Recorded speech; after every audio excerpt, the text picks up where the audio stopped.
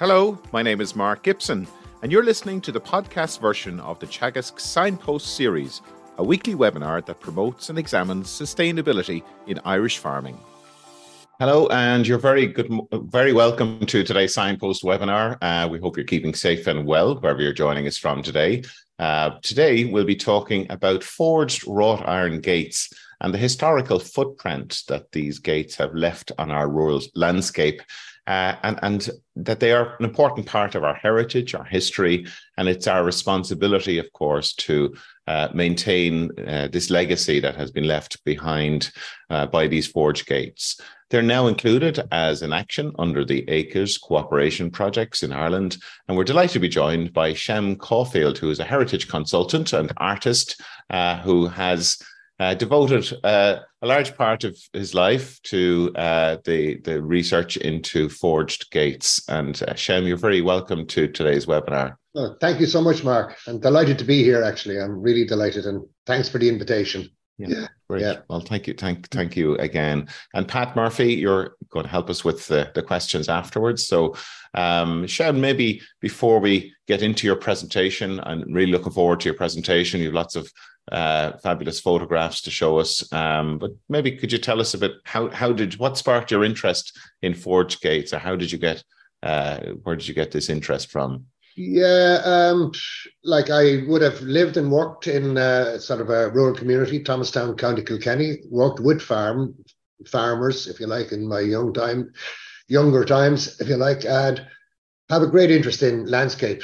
uh, and the management of it, the history of it, and uh, trying to listen to it, if you like, from a very early age. That sounds very mystical, but uh, in a very practical uh, way. And I was fortunate enough to be to have met some farmers whom I, I really, really admired. I um, um, I remember one man, uh, James Holden in particular, uh, just talking about trees. A very old man when I was a young fella, and as he talked to me, he was uh, rubbing the back of a heifer uh, and talking about uh, what the weather is going to be like from reading two different oak trees that were on his land. And that, you might be say, a mystical, magical sort of side of it, but that sort of knowledge and that observation uh, really left a, how would you say, something with me. And uh, if I was to say one word, I'm interested in observing. And observing uh, is not just alone about seeing, it's it's really looking, you're nearly feeling it as well as seeing it, of uh, empathizing with whatever it is you're looking at. I don't know if that answers the question. Mark. Yeah, absolutely. Well, I mean, isn't it that that's not that knowledge isn't often uh, read in books or uh, you know, and it's it's very local to a particular area. So that that that passing on of knowledge is so so yeah. important. Um, absolutely. There's something sacred about that. If that's not the, I don't know what the correct word is, but and to feel that if it's passed on to you, I've told people about those two oak trees several times mm-hmm. uh, about what the, the summer is going to be from which one of those leaf before the other, etc., etc. And it's like the the carrier on of some message, some folklore. So, and some, so everybody that's tuned in today now, they will be the carriers on of, of the knowledge that uh, we're, we're, we're sharing today. Shall we'll hand over to you and uh, we, we will chat to you after the presentation. Oh, cheers, Mark, and thanks, thanks a million. And again, thanks to everybody for the opportunity, and and thanks to Catherine for technical and emotional support for this for for this podcast. We, we'll bang along because I know we just have limited time, uh, and I'm going to make a case for the vernacular uh, for our vernacular heritage in general, in particular our wrought iron heritage. And the word wrought technically means worked, but I'll be making an argument for uh, what we know as wrought iron or worked iron. It is uh, a particular type of iron, and I'll get to it later on. Wrought iron, the metal, would be number one. Uh, and sorry, just to go back a small bit, I'll be sorry for the the, the short uh, podcast that we're doing. I'll be looking at three elements really: wrought iron, the metal; two, the blacksmith's craft, the craft of the local blacksmiths; and three, um, the totems, and I see these as totem, totem poles of our social and political history. And along the way, I'll be illustrating what I, a clatter of beautiful gates from around the country. I was trying to think of a word that describes a number of gates, like a flock or something, and I've come up with clatter, but I'm, go, I'm going to copyright that one, okay? a clatter of gates. So we move on. Our engagement with landscape, like it really, really goes um, uh, way back since the first peoples came here. But I find it intriguing uh, of men and women setting up homesteads and engaging with uh, the landscape that's that's around them. It's been an intriguing thing for me. Uh, how you make a living, how you survive, and how you engage. And I suppose the conversation between the homesteader and its and his or her landscape, the things we bring into that landscape, the things we make in it, all of that is, uh, I find intriguing. Uh, that sort of endeavor that it's like um, you know pioneering uh, the pioneer uh, sort of engagement with it.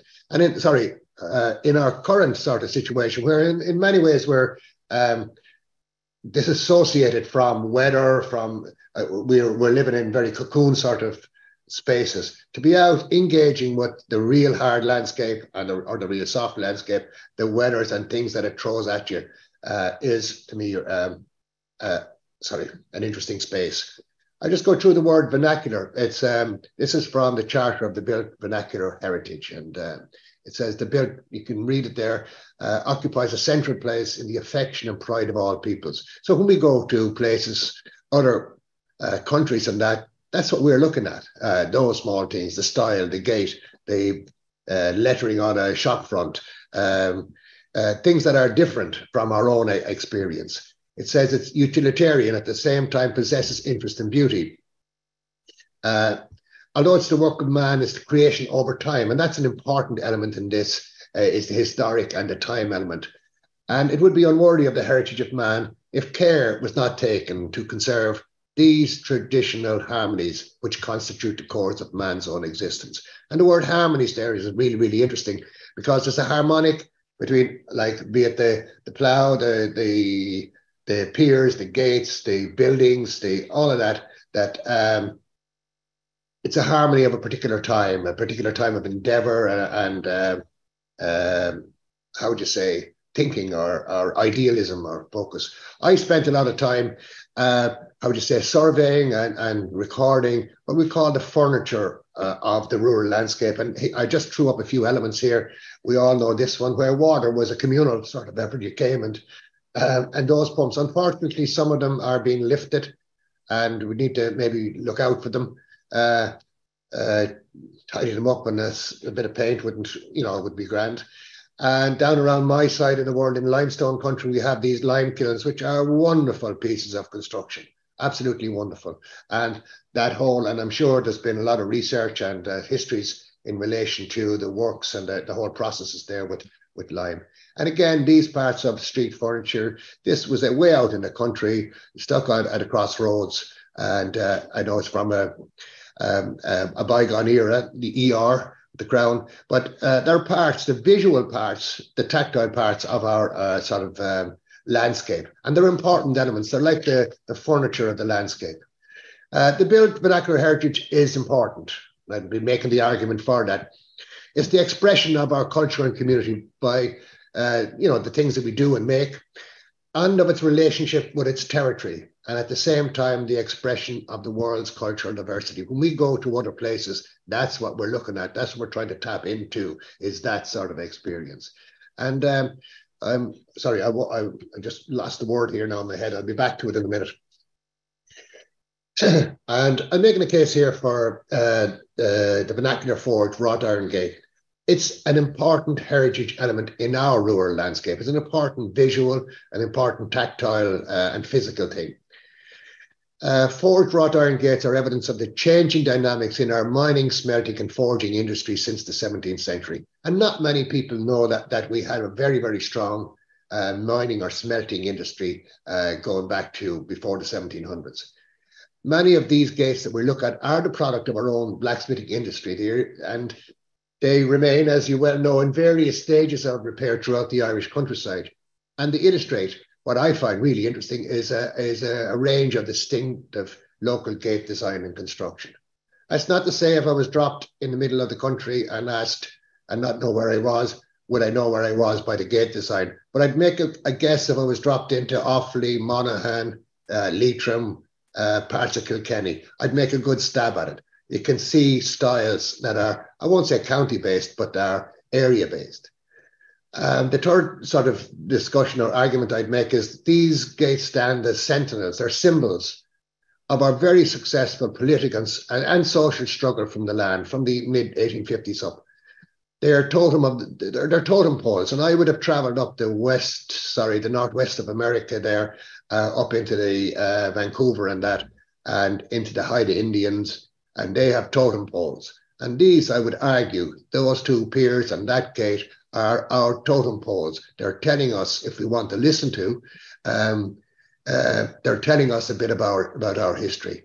They're the totems of the land wars. They're concrete expression of the security of tenure that that our farming uh, um, forebears had. And uh, coming down here in the van, I was just thinking about it coming down the hill from Templeorum there. Uh, and I'm just thinking about what that might have been like to move from peasant tenant farmers with no security into a space where you could put a wall or a ditch around and put a gate on.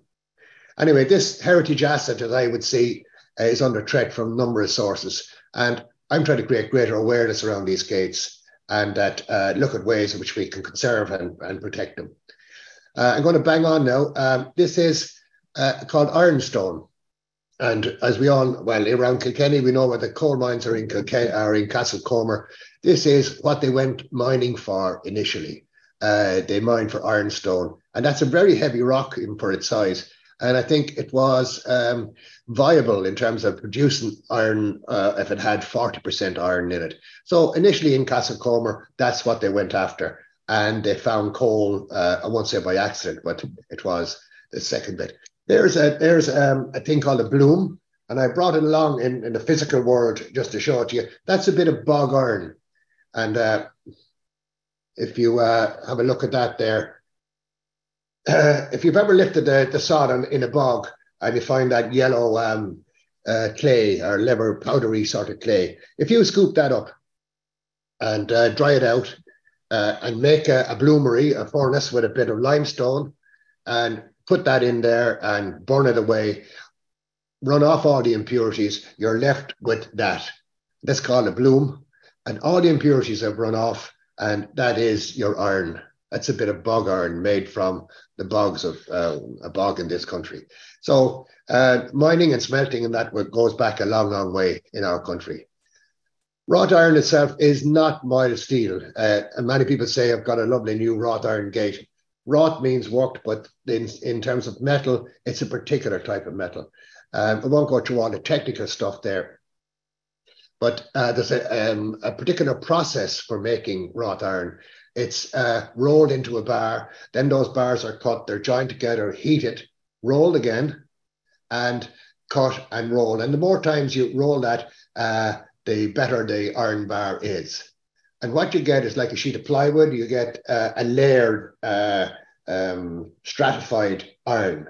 And that gives it its malleability and, and I won't say ductability, but malleability. And that's what makes it so wonderful, uh, so, so beautiful. It's low in carbon and um, yeah, and it's the preferred method uh, uh, of uh, making iron up into the, the, the mid 1700s.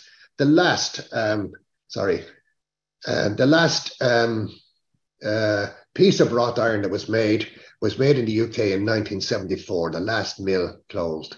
The last mill um, smelting uh, process was uh, in Ireland was in I think Creevelea in County Leitrim, and that closed in about the mid 1800s, 1850s or so. These were all charcoal based. Uh, um, how would you say? Uh, initially charcoal based uh, fuels. So you could get oak, make it into charcoal, and use that charcoal to create a, um, a heat source to smelt the iron. And if you look at this here, uh, the bit that we have up, uh, a lot of the timber in England had been depleted, and some say for for shipbuilding, and they say the same about Ireland as well, that it was used for shipbuilding and stuff. And yes, it was. But the brewing industry in the UK uh, used a lot of timber. Timber was the, the fuel of choice, if you like. Uh, so it became depleted. So they moved over here a lot of the smelting or, or groups, and you had um, people like Sir Walter Raleigh, uh, the man famous for the spud, he had several uh, smelting industries going from the whole way from Youghal right down into Killarney National Park now. And there's some interesting bits of text about the depletion of the forests uh, down there. So they followed the timber and they burnt the the um, uh, what do you call it, the oak to make uh, charcoal. Uh, one ton of oak was required to create 100 weight of charcoal, and 1.7 tons of charcoal were required to produce one ton of iron. Uh, and to produce two tons of wrought iron per day required 600. So you can see the impact there. So our smelting industry had a huge impact on, on, on our forests and so. And we were net exporters up to about 1699 of um, uh, wrought iron bar. Can you imagine that? Exporting it. And uh, uh, but then a fella came along and they called Abraham Darby in the 17, um, 1709, and he developed uh, coal, another way of, of creating high heat. He distilled coal to make um, coke.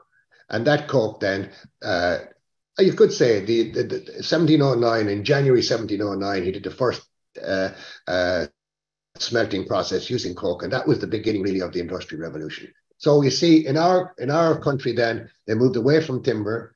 All of our smelting industries then moved to the port towns: Dublin, Wicklow, Arklow, Arklow, Wexford, all along the coast. So they became big foundries there who were net importers uh, because nobody could compete with the new process with um, uh, coke, if you like.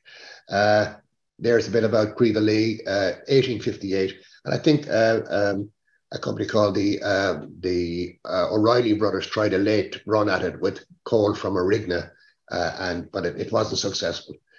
Uh, so it's not produced. Wrought iron is not produced commercially, and mild steel has become the, the steel of choice for many blacksmiths. And I'd say there's a strong case uh, for having wrought iron declared a heritage metal and given it the status the status that it deserves, I think, in its uniqueness and the, how it was applied craft-wise into our into our culture. And it's very like uh, I get upset, I suppose, sometimes to see a wrought iron gate going off and being lumped in with other scraps and heading off to be melted down when you consider part of the process that that got it there. So the metal in that uh, um, uh, gate or whatever, if it's wrought iron, uh, it's unique uh, and it's not being made anymore. So uh, continue on then. So that was looking at the metal, and we're looking at the wrought iron gate. Now here's a, a lovely gate with two piers, two big, beautiful round piers, and a wrought iron gate. Wrought iron gates are particular, and I won't say exclusively particular, are unique to Ireland. You'll find bits of the bits of the uh, sorry the use of metal gates in parts of Lancashire, Yorkshire, and down into Cornwall in England. But it'll tell you something about our weather patterns, or certainly our moisture levels. Timber is not. If you've ever put in a decking, you know that you're you're fighting the elements with decking the whole time in this country this country, with our moisture content, it's not suitable. That's suitable for exposed timbers. And wrought iron became, and maybe from the availability of wrought iron, but it became the uh, material of choice to make gates. And it is. I know there's no such word as uh, very or almost unique, but uh, it is quite particular to this country and very other, very few other places. So that's another thing to remember. Uh, in contrast to Ireland, audits of the United Kingdom farm gates show that the main material used in farm gates construction is wood, with a preference for uh, um, for metal in, in parts of Cornwall, Yorkshire, and I'd go into Lancashire as well. There's a, a just a little um, illustration of some of the parts of these gates. Um, you have two piers, and normally these were eight, eight to ten feet, and that's part of their sort of problem, particularly in tillage areas now, is that they're too narrow or too small. Um, you can see some of the. Um, I just leave it up there for a for a cent, for a minute. That would be a typical traditional um, uh, field gate. Uh, the bars lower down, you'll notice, are closer together. They're generally referred to as dog bars used for keeping small animals or lambs in or, or whatever, or if they're used in a, in a yard, uh, used for keeping chickens there in, etc., etc. A hung from one side and uh, a latch on the other. And you see a whole range of variations from, uh, from of that style throughout the country. The blacksmith, again, the centrality of the blacksmith uh, is really significant in this country. So now we're moving on to the craft of the blacksmith and the, the significance. Here's one that uh, not 100 miles from me, uh, Jack and Judy O'Gorman, uh, and I think he's putting um, uh, banding on a t- tire on a wheel there. And he was a blacksmith that made his uh, uh, living in a, quite a rural place in Raheen Uh, that picture was taken in 47. But here is a letter written by him in 47. It's one of a number. And um, he was pleading with government to get a ticket to buy coal in order that, in another letter, he says that that farmers will have nothing um, uh, uh, to plough with or to harrow with this spring if I don't get coal because uh, they're dependent on me to repair the spring har- or pin harrows and stuff like that. So again, the centrality and of the of the blacksmith into rural in rural communities was very very significant and um, not alone as a meeting place, but as a place of engineering and problem solving and, and solution making. There's a forge now, a very old forge from um, down near Inistioge. It's in Hatchery Lane in Inistioge, and it's from the family uh, Lees. Uh, you can see the bellows there, and uh, some lads taught me that their job used to be to be pulling that lever to blow the bellows to make the fire, and it was an awful job altogether. And uh, I just included a few of these. This uh, friend of mine, Eric uh, O'Neill, he's down in Limerick and he's running a blacksmithing school down there. And uh, some of the uh, images I'm going to show you now are some of the techniques used in the production or the manufacture of a gate. This one here, you can see the metal is hot and it's a mortise and tenon joint. Okay, that's one of the ways of connecting two bits of material or two pieces of material together the end of that uh, tenon that's coming out through the, the, the, the coulter bar there will be flattened off and that will be held at, at right angles there.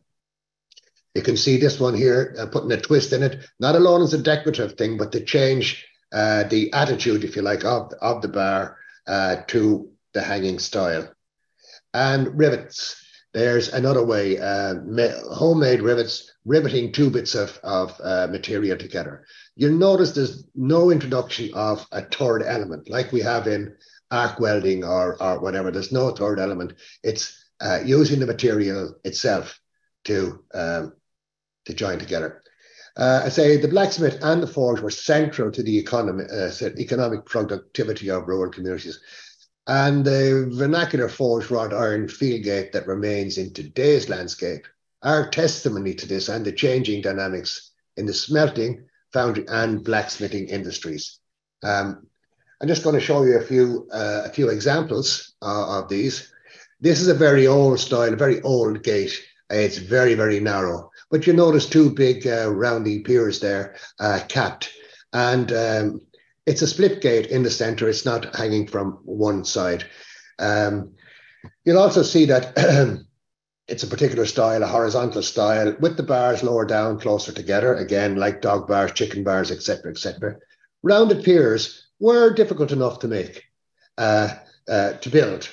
It's easier to build a square one, I'm sure. But if you can imagine you had a horse and cart, and if you remember from your maybe past, that the axle uh, of um, uh, a cart jutted out six to eight inches past the wheel.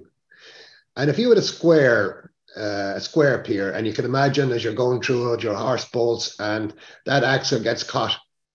You either leave the the pony or the horse on his knees or the axle on the ground. So what happens in a roundy pier is that axle engages with it and it's scraped around, which gives the man or woman driving the cart greater, um, let's say, angles of access to the opening. Uh, for a square one, that's very, very tight. You'd have to be full front on, if you like. So these, as I would say, are testimony to, if you look at it, there's a huge investment here. Uh, a builder has to build those two piers, and a blacksmith has to make and hang them. That is a huge investment uh, in terms of infrastructure. And um,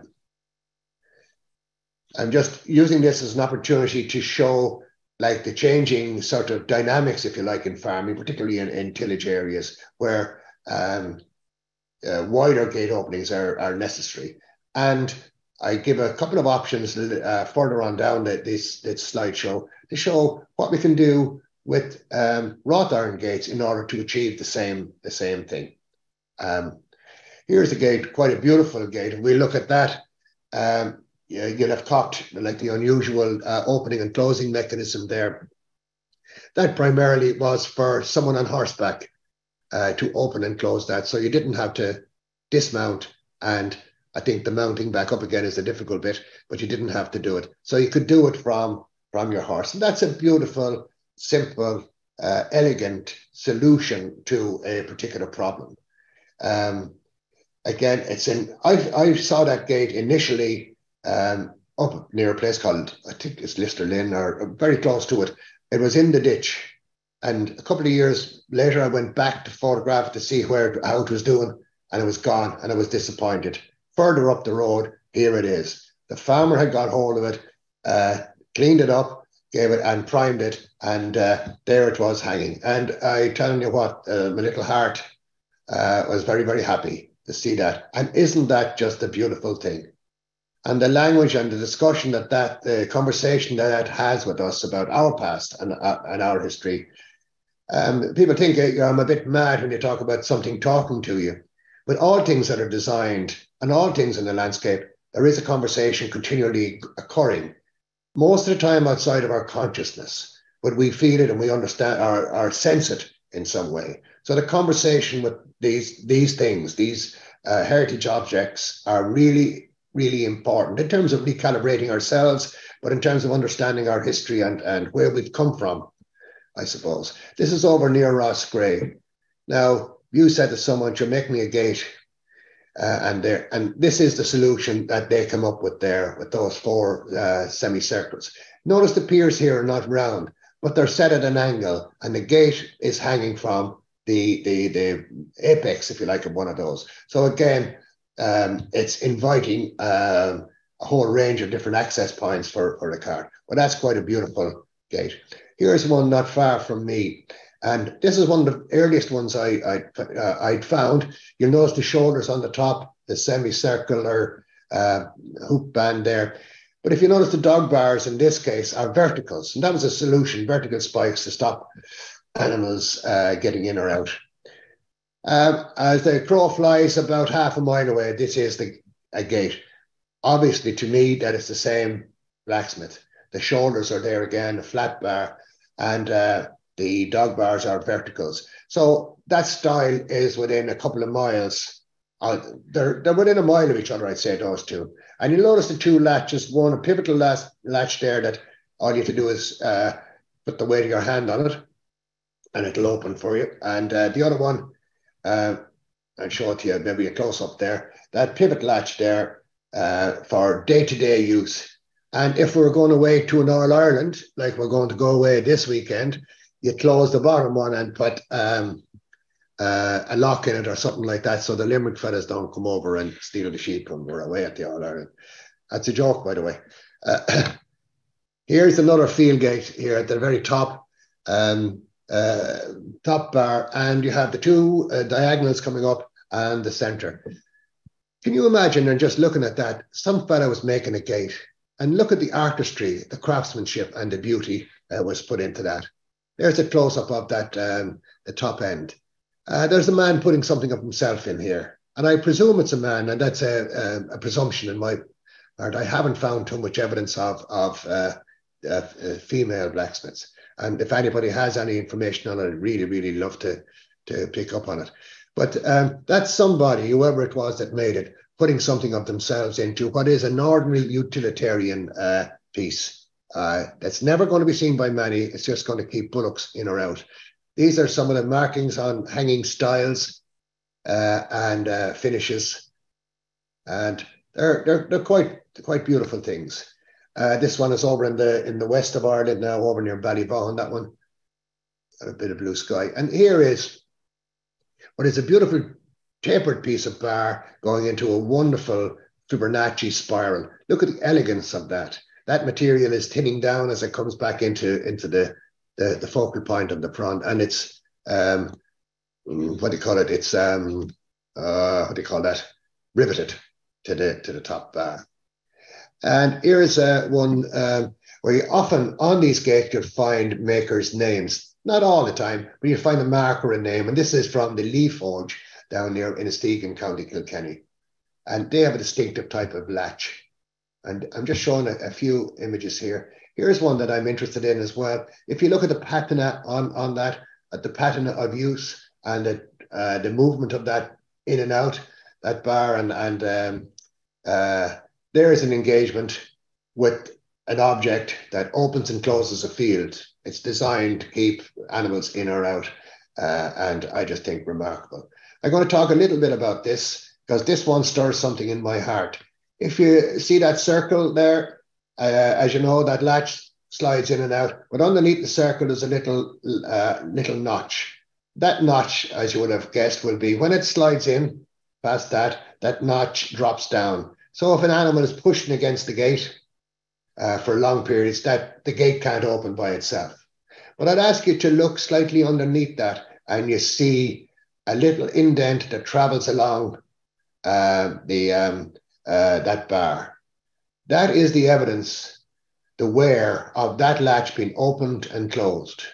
A man or a woman engaging with this, and there is the documentation, if you like, of the engagement of a, of a human being and the husbandry of the landscape.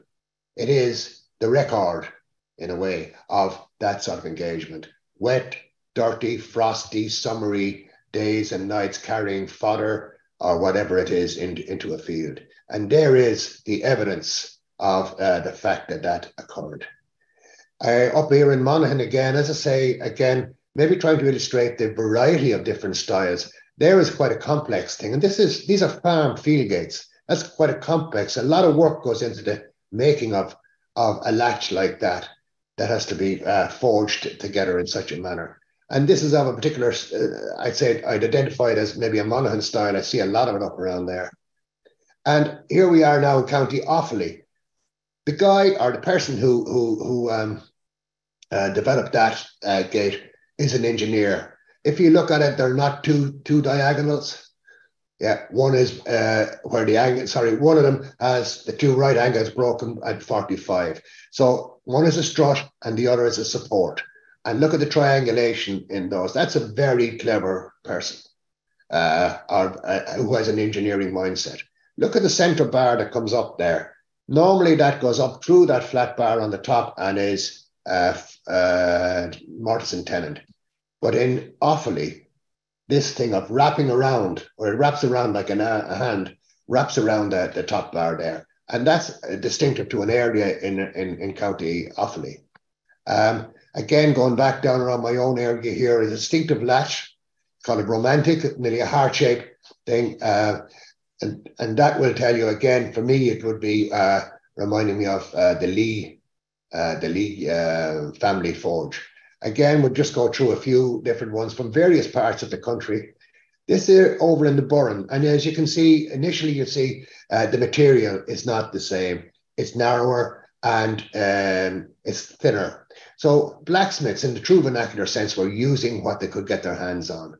And this is a blacksmith using the materials that are close by and designing their own particular mechanism. You can see how uh, that latch system is, is, is um, again around the burren. But I draw your attention to this bit.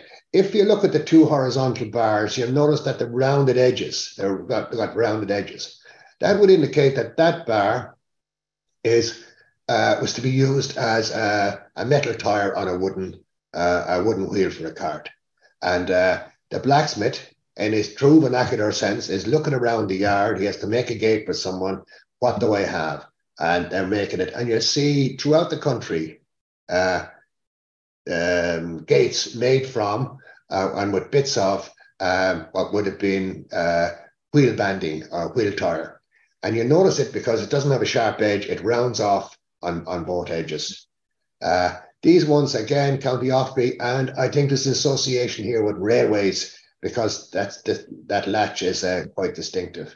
Here is uh, fella having a good look out the gate. Again, that's down towards um, Ballyvaughan. And I'm very, very interested in that devil tail uh, sort of latch finish there. Here's one again over near um, again in Clare, this is in County Clare. And look at the look at that latch, a beautiful latch, and the backup system with the baling twine there as well is really important. But the effort gone into making that latch uh, and its its beauty, it's I don't know, I just find it remarkable. So that's really this is what we're really talking about. This is the standard uh, wrought iron uh, gate. We've looked at the history uh, of smelting in the country. We've looked at the craft of the local blacksmith. blacksmith. We've looked at distinctive styles. Um, and um, here's one now. Here's a style. I would say if you were reading that and spend a bit of time looking at it, that man or woman is an engineer. Look at, at the sharpness, the technical sort of, uh, there's a technical quality about this. Uh, the notch that he's taken out out of it. And look, if you go to the very end of the latch, you see that nice little flare out. That is an engineer, that uh, person who made that. Here's there some, there are more organic or, or um, uh, latches. And again, back into the Lee forge, that sort of heart shape, where that piece of metal on the latch is split, tapered down, and and uh, tapped into into that distinctive style. Here again are some other solutions and look at the two verticals there and one long cross, uh, diagonal cross.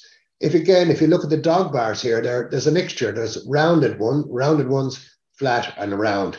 Really, this the distinctive stuff. Gates are used uh, like open and closed spaces, and we see uh, a lot of gates used in all sorts of uh, strange ways. This is it's great to see it up, but it's lethal. As all of you know, they're very very heavy. And unless they're hung properly, they're a liability, they'll flatten you. So I would say when using the gate, uh, a wrought iron gate in particular, it's many, many times more heavier than the, the tubular galvanized fella, uh, to hang it right because you'll get fed up of it if you have to be dragging it around the place. So a, a bit of time just to hang it properly and you'll be laughing. And then just a small bit here about uh, repairing wrought iron. Uh, wrought iron is different than mild steel. And in conservation, you, you should use the material uh, that the object was made from uh, to repair it. And I illustrated earlier on, there are just basically three different ways of, of joining um, traditional wrought iron gates together. There's the riveting, there's the forge welding, the, the, the melting of, uh, merging of two pieces of metal together, and there's that um, mortise and tenon. Those are the basic sort of stuff, and there's scarf jointing as well electric welding on um, on wrought iron is not great for it. Now, there's a nice finish on it, but it's one of the better finishes. Uh, a man with an angle grinder and a welder is lethal when it comes to wrought iron gates. Chopping a, bit out and adding on, adding on another four feet uh, is not viable. There's a couple of other options here, and I'll show them to you. There's an option now where the wrought iron gate is made, it's still there, and the, the farmer has commissioned this wonderful blacksmith. He wants to extend it by two feet or whatever. So they've made out of the mild steel a small gate. Yeah, with a little drop pin in the center. So that extends that opening from a 10 foot into a, maybe a 12 foot opening. The integrity of the wrought iron gate is protected. And uh, if you look at the style of the small, uh, the little gate on the left hand side, it continues the same style uh, as the wrought iron. That's a very tasty um, solution to uh, to a problem. And I'd be advocating that here it is again uh, in that same way, and a diagonal put back into into the small opening there on that. Again, you can use this is again quite a lovely uh, solution. Again, widening uh, what is an eight or ten foot gate into a twelve or fourteen foot opening. This is just a close up, really, of the um, uh, repairing of what you call the pintle, where the gate hangs and goes into the ground. And in this case, it's a scarf joint. You can see the two of them overlapping and they're uh, riveted together. You can also see face facing you, you can also see the mortise and tenon uh, coming out. Notice also how that's swelling around that um, uh, tenon that's coming out. That will tell you, and it's one of the ways of, of kind of, I won't say dating a, um, um, a, a piece of a, a, gate, that'll tell you that was hot punched. That was reddened or heated up and punched through. And therefore, you have the spreading, uh, the expanding of the metal around. Uh, nothing has been lost from the metal; it's just expanded around.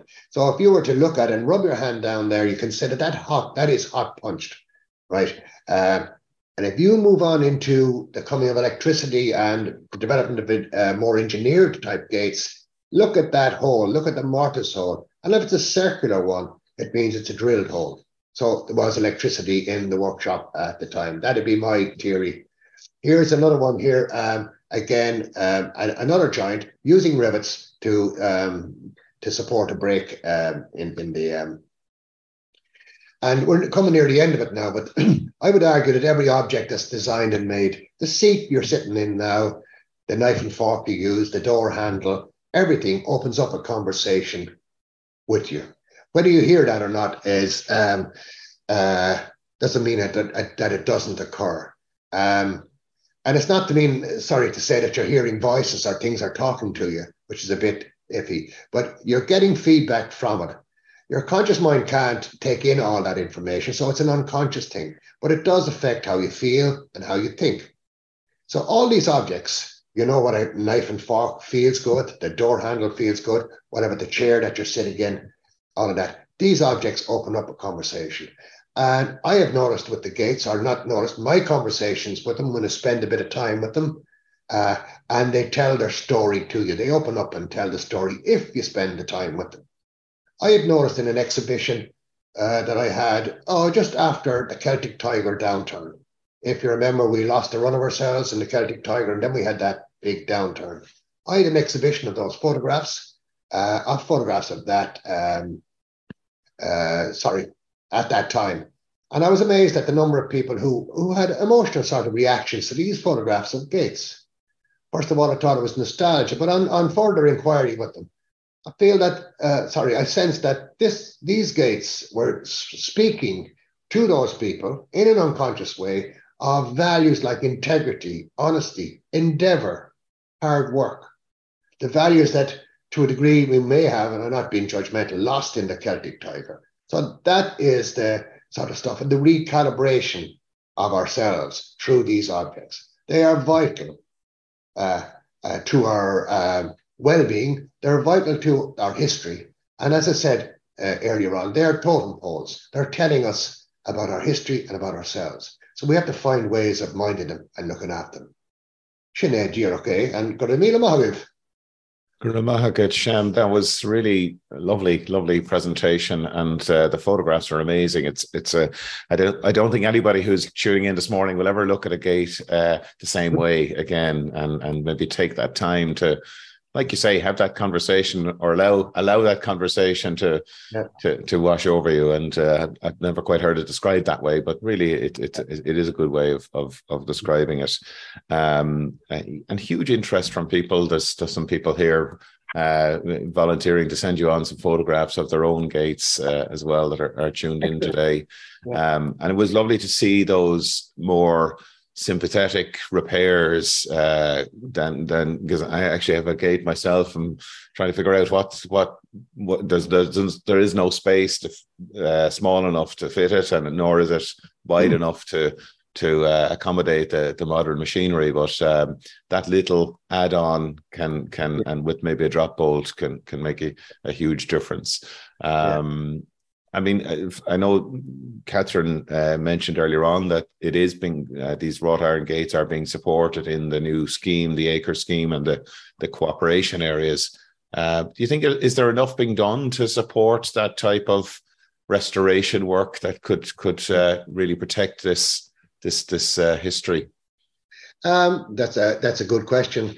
Well, I suppose I would say like I've had several uh, meetings and one big one up in Castlecomer, and it's about uh, sorry awareness raising for me because I found with a lot of farmers, particularly of a particular generation, they have that grow, if you like, and that knowledge. They they know something about it, and uh, not that the the men were crying now after they um, they talk, but they were quite upset as to what they'd allowed happen to the gate or gates on their farm when they realize the significance of it and uh, the heritage. Now, um, I think that that's the important, and that's what I see myself doing.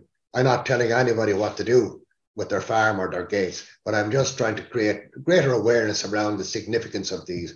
And uh, I do think they uh, uh, groups like the fact that it's coming into that program there and awareness around that this is something significant and um, um, and something to be cherished. But the heritage offices around the country, also there are all sorts of people getting on board with this. Like stonewalling is another one, like the art of stonewalling, and some of the farmers that I would have uh, worked with over in the west of Ireland. My God, they're they build stone walls totally different than uh, than me down in, in my neck of the woods in Norman country, the Norman sort of wall building and uh, farmers building uh, walls over in the west. Uh, and I spent quite a bit of time over around Ballyvaughan and, and uh, um, uh, Kinvara and that. So all of these qualities, and I suppose you asked me a question: Is there enough being done?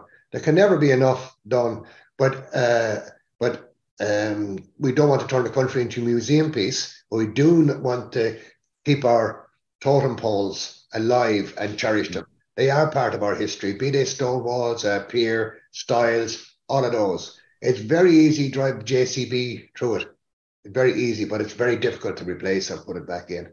Then and so to answer your question, there can never be enough, and that conversation is continual. And yeah. That that's yeah that that's a likening to the totem pole is, is a good one all right and, and that it does tell tell the like there's so much to tell about a time from looking at the gate and and looking at you know whether materials were plentiful at the time that repurposing of the the wheel braces and yeah. uh, it's it's extraordinary um, huge amount of compliments coming in through the the the q&a um, tab here and so if you do please if you have any questions specifically for uh, Shem, please do to use the Q and A tab this morning. I also took the opportunity there to share with people a link to that Galway uh, Forged Gates uh, project that um, that was was run with Galway County Council and a few, uh, number of other partners. It was a very interesting project. I was there for the launch and uh, a huge amount of um, history being shared there and and research completed by Emma Laffey at the at the time. Um, the the uh, I mean, where where can people find out more information, Shem, beyond that about uh, Gates?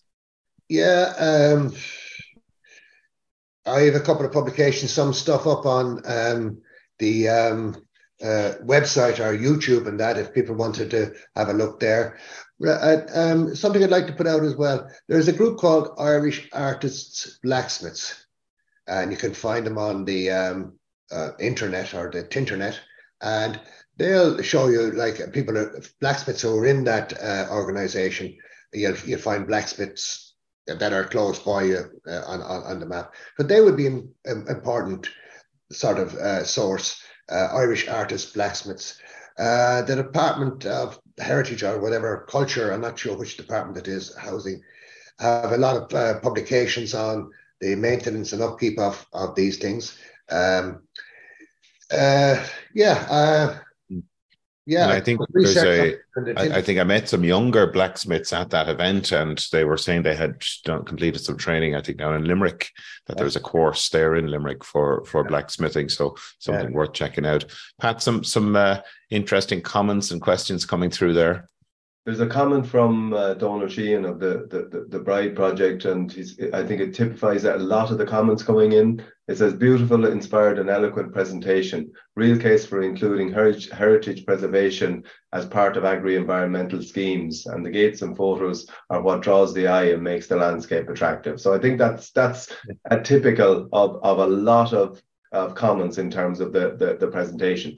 Few other things. Um, few questions about the uh, preservation and, and some of the, the gates you showed, particularly the latter end of the, the presentation, some of the gates were painted, uh, obvious preservation work. Uh, we had a, a, question from somebody in relation uh, who has uh, during lockdown uh, found seven or eight gates on the farm and and and um, uh, repair them uh, and and try to bring them back. What is the the recommended thing to do to try and preserve them in, into the future? Is it painting them? Is it stripping them back? Or what what what is recommended there?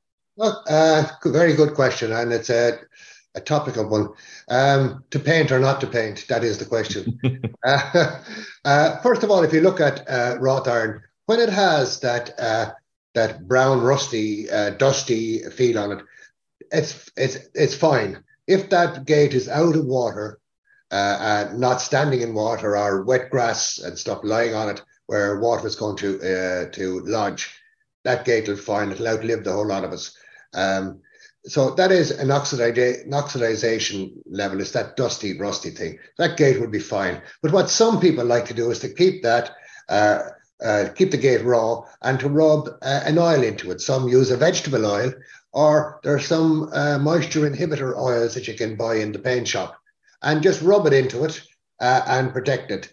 I was uh, working on an estate. I was doing a project up there in in, in the north of the, the country, and um, uh, I was talking to the, the current owner of it who said that her grandfather used to force them as children to go around all the railings and all the gates on the estate with sump oil and a rag and rub down all of the uh, wrought iron uh, on the estate.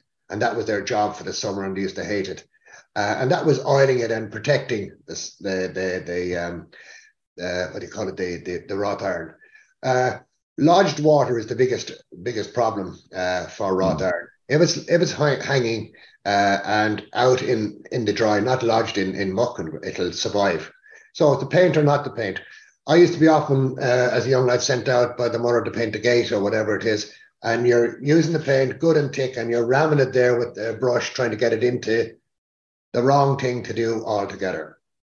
Uh, the proper methodology seemingly is uh, one, uh, to put on very light layers, put on the primer, but it's light, it's thin, and multi-layer that, and build up then your, your layers.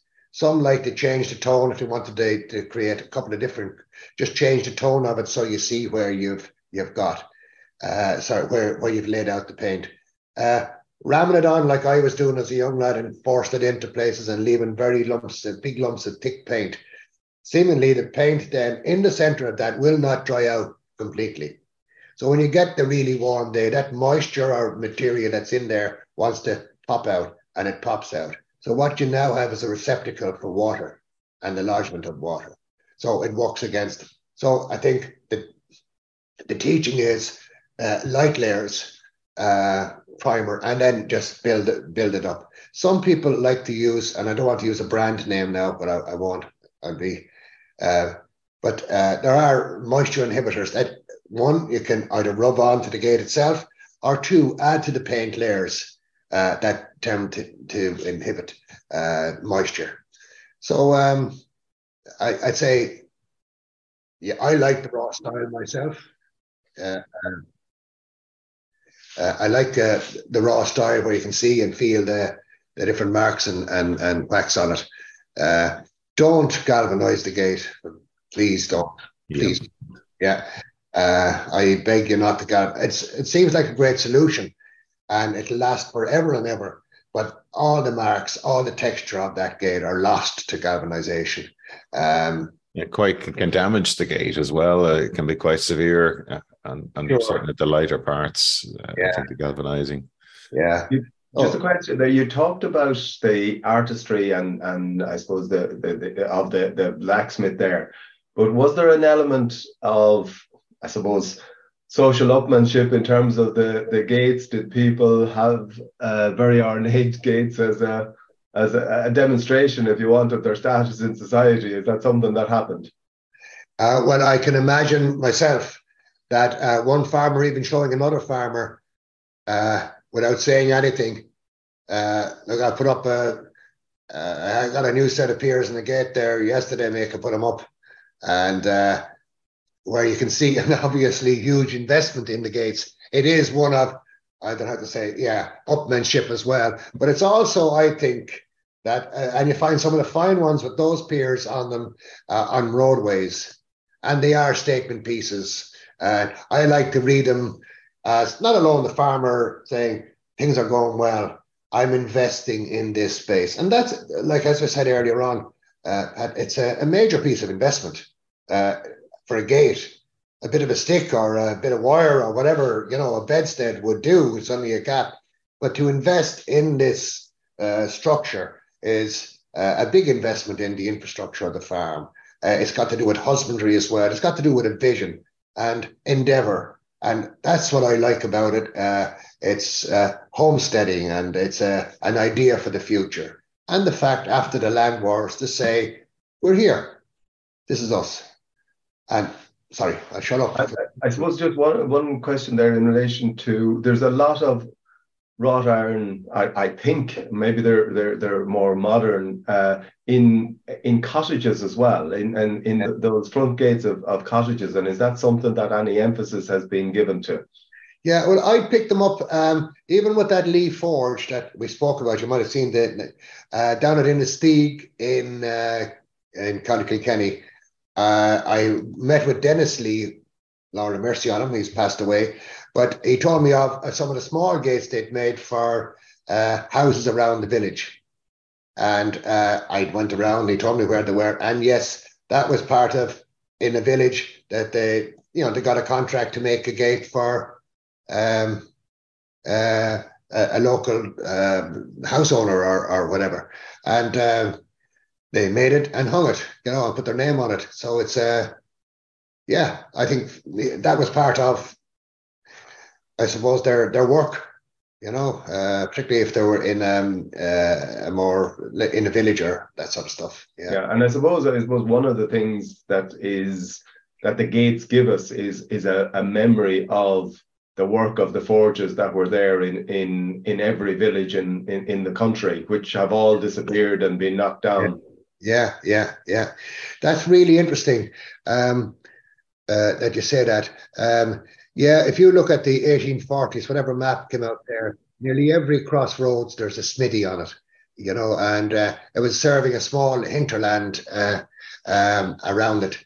Uh, and yeah, I would say the focal point, our sort of industrial revolution, our um, thing. But it just something came up into the head. If I could share it with you, I was at a conference over in uh, Galway many years ago, and uh, there was this. Uh, I think he was an anthropological sort of landscape guy, and he was talking about farm buildings and landscape, and he looked at and again mapping, and he looked at maps from the 1840s, etc. Up, and uh, he was saying, you see a big turn in around 19 from the the mid 1900s on, and he like uh, sorry he uh, drew the connection to the arrival of the pension.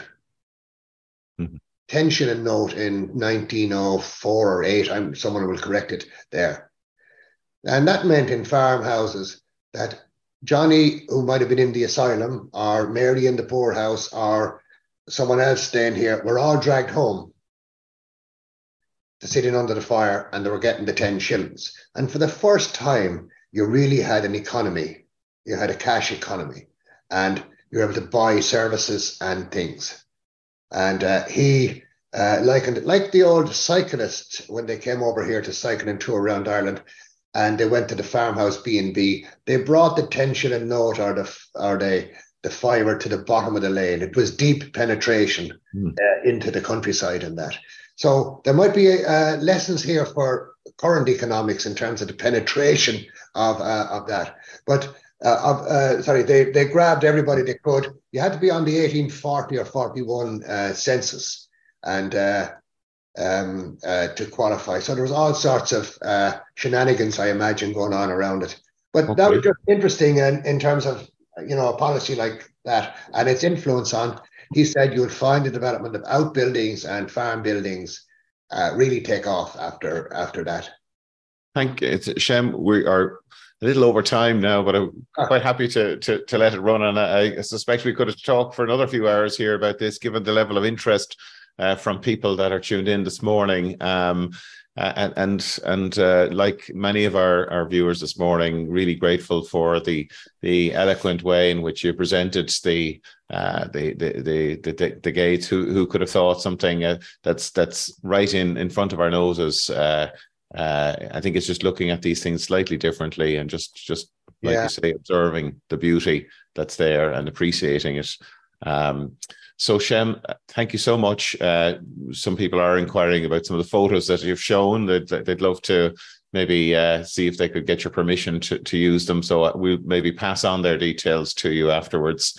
And um, uh, Pat, thanks so much for helping out with questions. And uh, we're going to be next week, we're going to be heading to Australia. We're going to be listen, hearing from Professor Alison Kennedy, who's going to be talking about the promotion of farmer health and safety for sustainability in both Australia and Ireland. And we'll also be joined by our own Dr. John McNamara, uh, who's head and health, health, safety specialist with Teagasc. Uh, Shem, thanks again uh, for, yeah. for your talk.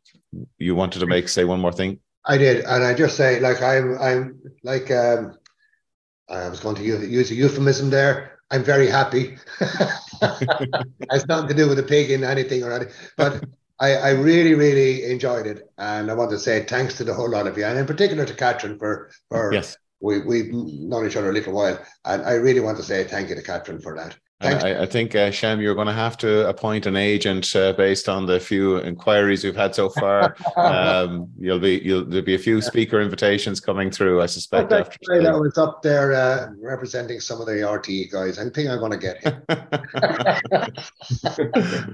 okay, Shem, we'll leave it at that. Thanks so much, so much, and thanks for everybody for tuning in this morning. And we'll we'll see you next week.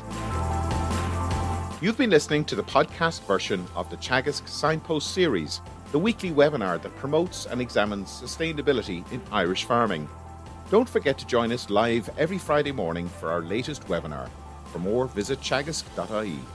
And you can also rate, review, and subscribe to the Signpost series on Apple Podcasts, Spotify, or wherever you get your podcasts from.